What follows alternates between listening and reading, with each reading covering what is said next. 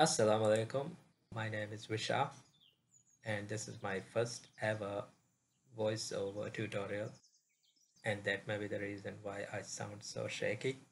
So forgive me for that, and for my broken English. okay, so before I change my mind about this, let's dive right into Photoshop, shall we?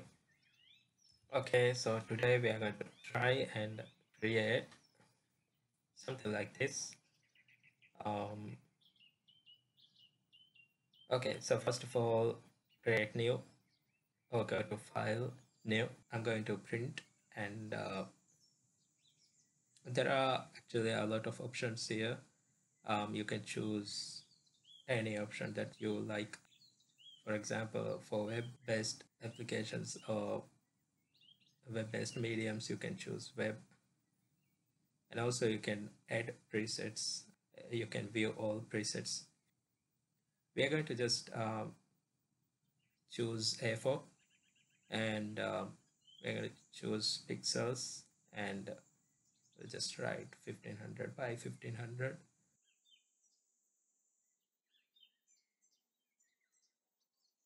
and then um, rename this as something like anything that you want like Facebook post or anything doesn't matter.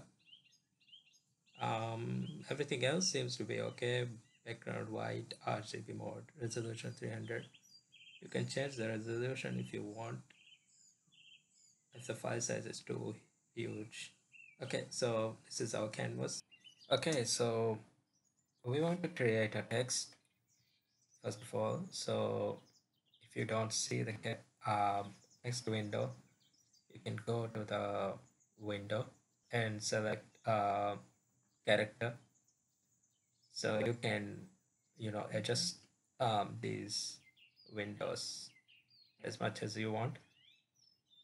And uh, if you get confused or if everything mess up you can just raise it to essential. Okay so i'm going to um, insert uh, this picture. This is a picture i got from uh, pexels.com, which is a free um, stock photo website. Uh, I'll give the link in the description. Okay, so we want to uh, enlarge this.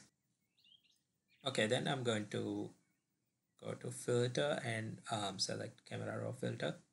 This is a really cool feature that um, Photoshop has. Uh, from this camera raw feature we can um, adjust the color gradings um, the color temperature and uh, everything you can um, just experiment yourself. Okay we are going to lower the temperature and maybe increase not decrease. If we decrease um, the tint amount to the green side um, it will get more greener the leaves will get more greener. Okay so exposure increase exposure a little bit and uh, lower the contrast. Just play around with the settings and to find a setting that you like and press ok.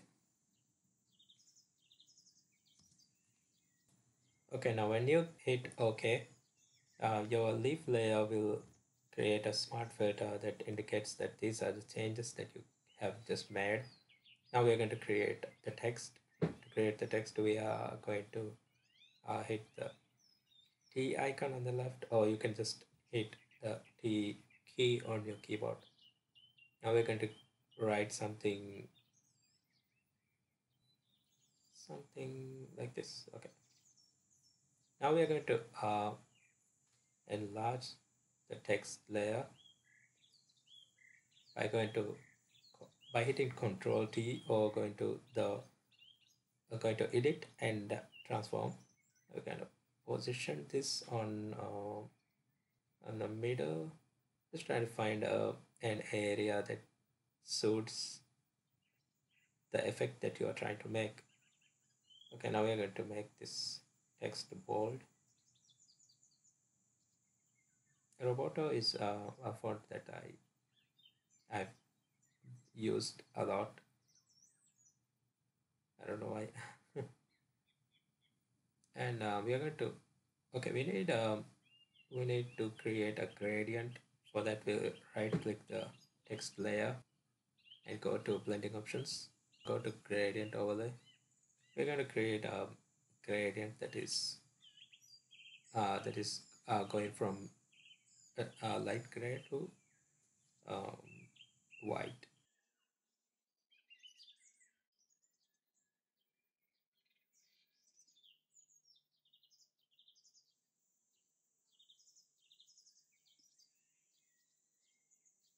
now we are going to uh, cut out this um, leaf part and put it above the uh, the text layer so that it looks like uh, the text is behind.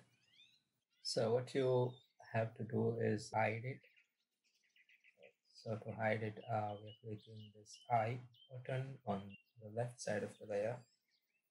We are hiding it uh, to select this uh, leaf part that will fall on the text part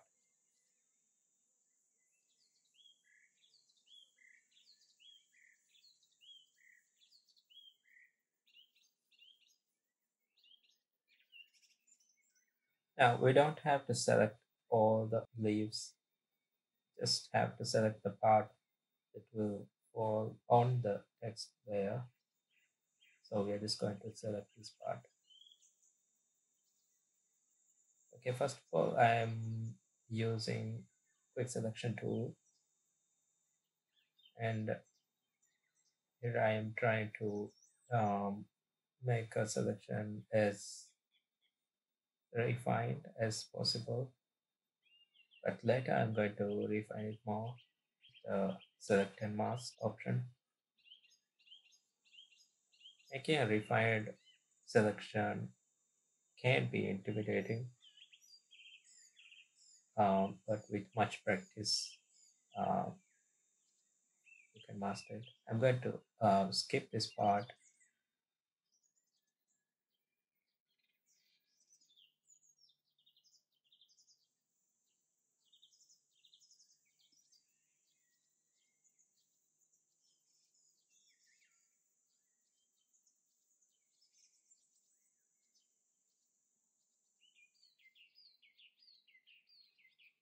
I'm going to click select and mask and um, I'm going to view and I'm going to select white.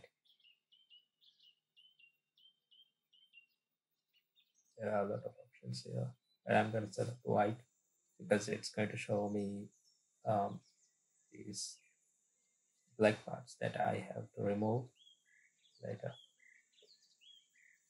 Okay, what you have to select from the left side is the brush tool that is above the lasso tool. I'm going to decrease the size and I'm gonna uh, try to refine it as much as possible.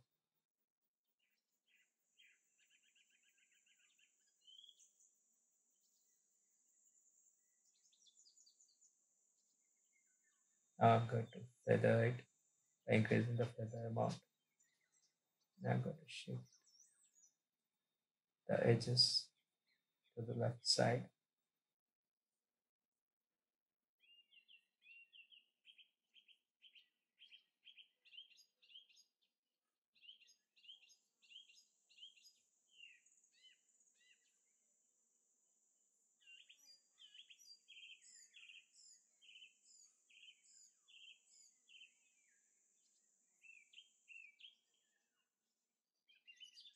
Okay, we have made a selection now.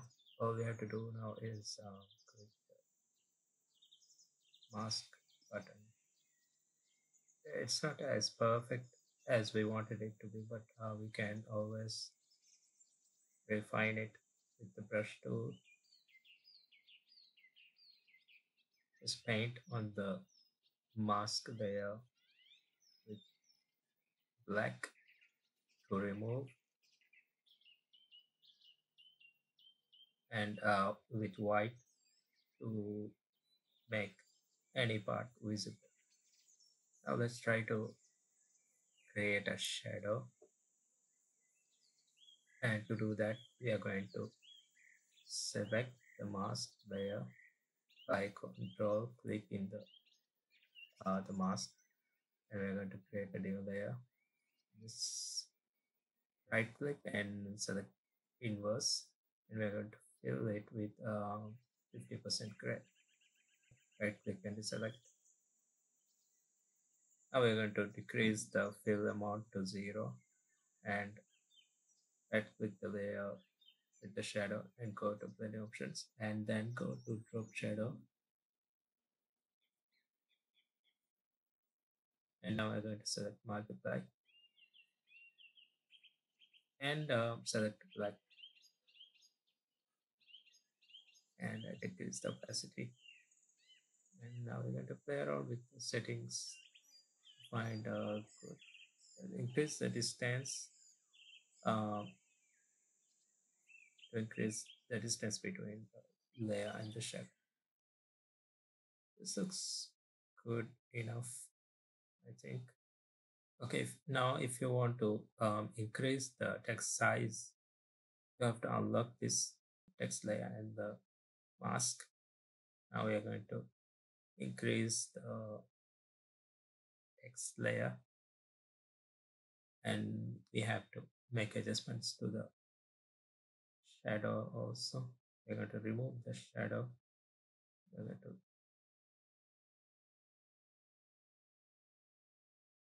do the same procedure that we did before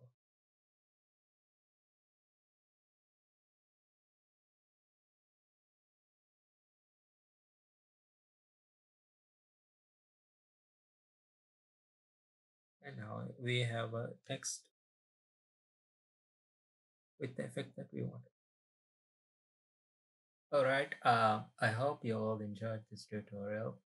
This may not be the best tutorial out there, but uh, I hope it helped you one way or the other. Uh, if you are new to my channel, please subscribe and hit the like button um, so that I can make videos like this full time. Okay, I'll see you guys in the next video inshallah. Until then, salam.